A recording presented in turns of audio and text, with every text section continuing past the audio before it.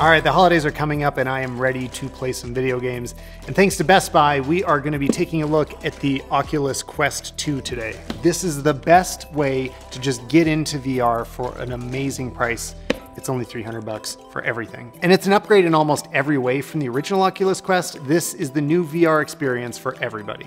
All right, well, um, I'm in the menu system now. And this is also my first time trying to document VR and I, oh, I mean, I've watched VR videos before. It's frustrating how much it does not capture this. Is this the house from Parasite? Oh, this feels a lot more like home.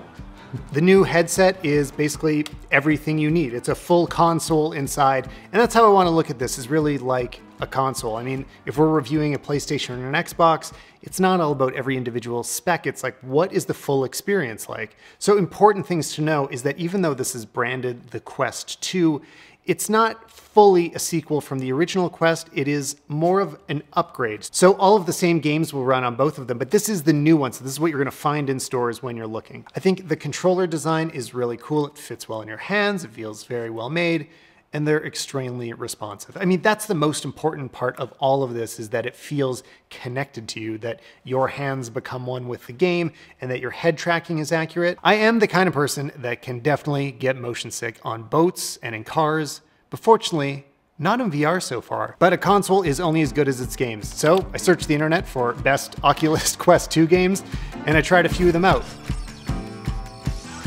All right, let's try this.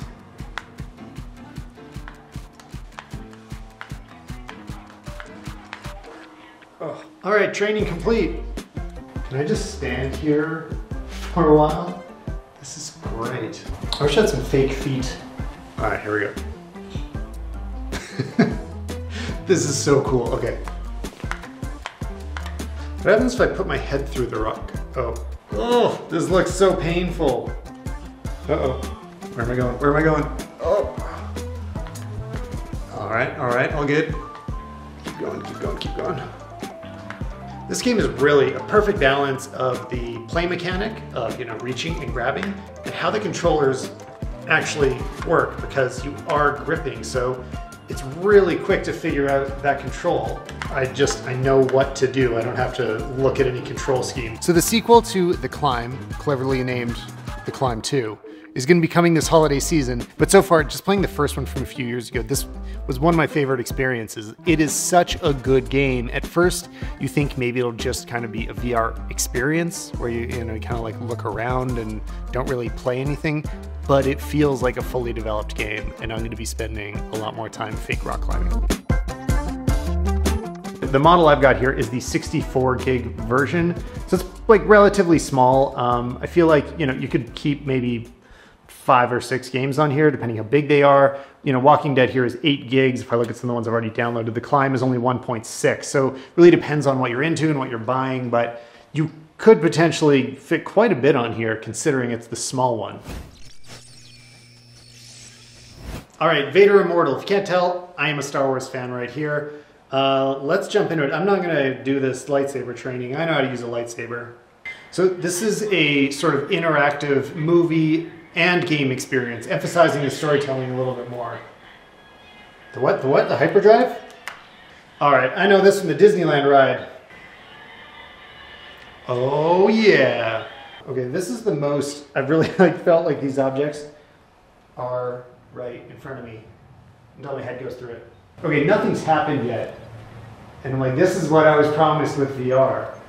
I'm just like, I'm oh, in the space. Don't leave the space. It gets funny, as I start to combine the movement with my hands and then in real space, now I, again, have no idea where I am in the room. This is Star Wars. This is what Star Wars is like. But it's happening in my studio. for you guys watching, it seems probably less exciting, but the physicality of being in this room. Uh oh. Uh oh. Look, if anybody from Oculus is watching, just please, more Star Wars games. That's all I ask for. Whoa, that's a big ship. Lots more Star Wars games. I'm impressed how well it does connect to this up and down movement too. Like, it can tell that my arm is going up to a certain extent. Like, it's not completely connected because it's still just using the controller to figure it out so it can get it wrong, but it's it's pretty close. Oh wait, and behind me. Whoa. so I'll be honest, I um I don't watch horror movies at all. But I do like horror video games. Back in the day, I played all the Resident Evils, Silent Hill, so I do like the games. I don't know if I'm ready for it to be in VR because, all right, this is uh, this is off to a queasy start. I really like the speaker integration here because I can very clearly hear what's going on. It actually has a, a, little bit of decent bass, which I think was an issue with the old Oculus. Like it sounds good, but I can have really clear audio around me. I know what's happening. If somebody walks through the door, I can hear them. Nope, nope, nope, nope, no thank you. I don't have guns yet. Hey, there it is. So, do I have to go anywhere? Can I just, can I just hide? This is a bad idea. Why? Why am I walking through a graveyard right now? Stay back. Wait, where's my flashlight? Stay back.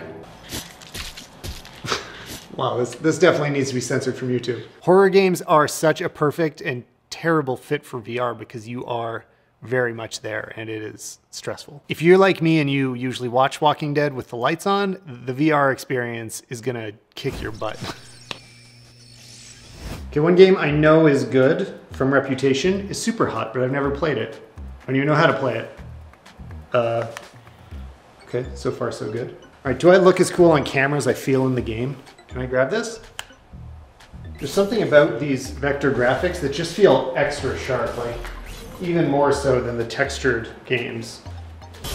Okay, I fully do not know which direction I'm facing in real life anymore. Just dipping my toes into playing Super Hot, which I guess that scald my uh, toes. But just playing the demo, I get why people like this game. I would like to play a game like this that is a bit more fully realized. Whenever there's this complete vector graphic art, I still I still kind of feel like I'm playing not a completed game. It's the skeleton of a game. So that's just me. I mean, what I really want now is a custom PC with a huge GPU so I can just play all the VR games, which you can on this thing as long as you just plug it in over USB-C or you can actually stream it wirelessly as well. I think a very underrated VR feature is watching movies on a huge screen when you have no screen at all. I know you guys are just seeing a little cutout right now, but this looks so good to me right now. It is massive. And since the screens inside my lenses are higher resolution in the Oculus Quest 2, it looks really, really great. Like other times I've tried this in 3D, it feels like, you know, you might end up feeling like you have a bit of a downgrade in terms of image quality. This does not. All right, whenever we start flying again, all I want to do is bring this on an airplane and just sit back and watch movies like this. I could do this all day. There are so many good games to play this season, and that's not just VR and Oculus. I mean, PS5, Xbox Series X, there's so much cool stuff coming soon, and it's all gonna be available at Best Buy, who's sponsoring this video, and you should go check out right after you watch this video. Or whatever, skip this video and go straight to the Best Buy website right now and check out the games that they have available. You can pick up the Quest 2 for just 300 bucks or 400 Canadian. I mean, you know this, Best Buy has all the stuff you need for gaming. They got the PCs if you wanna hook this up to a bigger rig, or if you need a brand new TV for the console this season, you can get it there too. Just go to bestbuy.ca, and thanks again, Best Buy, for sponsoring this video. Let's play a quick round of Beat Saber. All right, come on, you've seen better people than me play Beat Saber. You don't want to see this. So if you don't know about Beat Saber already, it is like the breakout VR title, the must play for everyone. I'm still really bad at it, but you gotta try it. So yeah, put this in the, yeah, yeah. What is that? Virtual reality. Ale tutaj coś jest. No yeah, you can go. Oh, Oh, did you find the edge? I find it some wall. There's a wall, yeah, like, yeah. Like a glass wall. Oh, After spending most of a day in the Oculus Quest 2, I'm happy to report that I feel great. It was comfortable on my head, didn't get any motion sickness, and there was a lot of details and finesse, especially to the interface, that really impressed me. The way that the Guardian system worked so that it felt like I really could just kind of walk around the room and exit the game safely. I never felt too confined inside of it, which is a big thing that stresses me out about VR. I don't want to feel like I'm completely shut off from the world so that somebody could walk in the door and I wouldn't notice. And that's just how I play VR. I know other people want to get fully immersed and, you know, black out the room and put on big headphones and just lose themselves in the game. This is not really what I'm into. To me, it's like traditional console TV gaming, but times a thousand because all of a sudden it got a lot bigger and it feels more real around you.